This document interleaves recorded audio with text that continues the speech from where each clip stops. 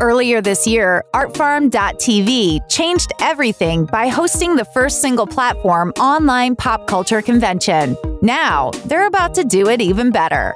On December 12th, Quarantined Con 2 goes live offering a unique experience for celebrities, vendors, and of course, the fans who make it all possible. Quarantined Con 2's guest speakers will be able to get instant access to unique rooms where they can connect with fans like never before.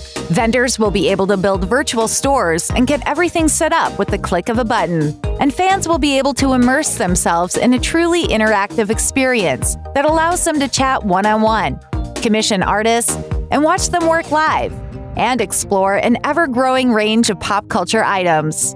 The first Quarantined Con was bigger than anyone expected, and Quarantined Con 2 will be bigger than anyone can imagine.